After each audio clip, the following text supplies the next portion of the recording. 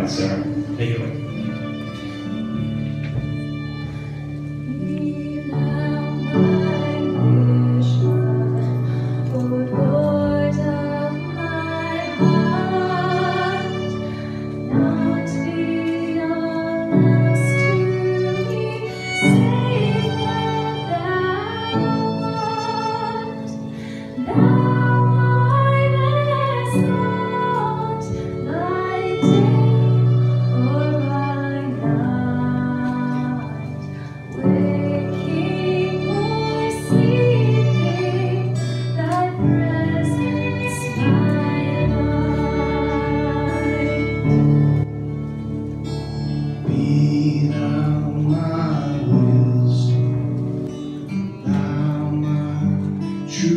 True